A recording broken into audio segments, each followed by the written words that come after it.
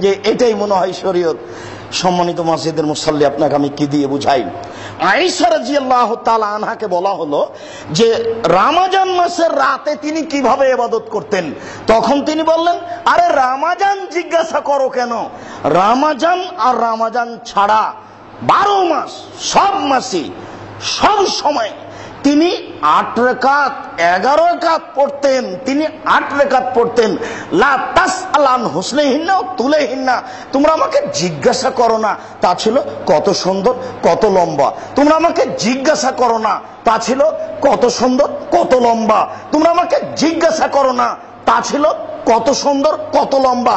আমি আয়েসা আট রাখাতে কথা বলতে পারছি, তবে কত সুন্দর ছিল, কত লম্বা ছিল, আমি যে বিবরণ দিতে পারি না।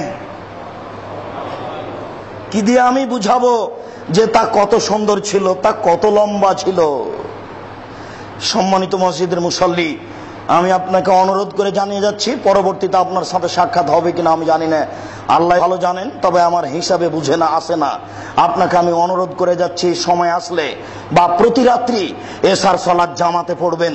এরপরে আপনি বাড়িতে চলে যান, খাবেন কম, অল্প খাবেন, এত ইফতারি বন্ধ। একটু শুয়ে যান, এগারোটার সময়তে উঠেন, মোটামুটি এরকম একটা টাইম সুন্দর করে উজু করেন, ফ্রি হন, প্রস্তুতি নেন, প্রয়োজনে গোসল করে নেন। আল্লাহ আকবর বলে, সলাতে দাঁড়ান, আপনি তো আর হাফেজ নন সুরাই এখলাস তো পারেন? সুরা ফাতেহা পড়ার পরে বিসমিল্লা বলবেন, আর এখলাস বিসমিল্লা এখলাস বিসমিল্লা এখলাস পড়তে পড়তে পড়তে পড়তে যখন আর দাঁড়িয়ে থাকতে পারছেন না, তখন যাবেন রুকুতে। রুকুতে বলেন সুবান রব্বেল বলতেই থাকেন লক্ষ কোটি বার। বলেন বলেন বলেন, আর থাকা যায় না, উঠে আসেন, সিজদায় যান। বলেন সুবান রব্বেল আর থাকা যায় না, লক্ষ কোটি বার বলেছি, উঠে আসেন, আবার যান, আবার বলেন, এ হলো এক রেখাত, এভাবে আরেক রেখাত, এ হলো দুই রেখাত, এভাবে আর দুই রেখাত, এ হলো চার রেখাত, এবার দরজা বন্ধ করেন, এই ঘরে যেন আপনার স্ত্রী আসতে না পারে। আপনার ছেলে মেয়ে কেউ আসতে পাবে না, ক্ষমা নিতেই হবে। ক্ষমা না নিয়ে রাত পার হবে না, আগে ক্ষমা, তারপর সকাল।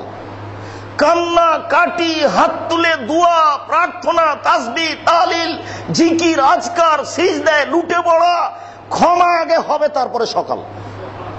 না, আমি বুঝাতে পারি না দুই চোখের পানি ঝরবে, ক্ষমা আগে হবে তারপরে সকাল। এরকম দেড় দুই ঘণ্টা চলবে। এরপরে আবার চার রেখাত, দেখবেন ফজর রাজান হচ্ছে।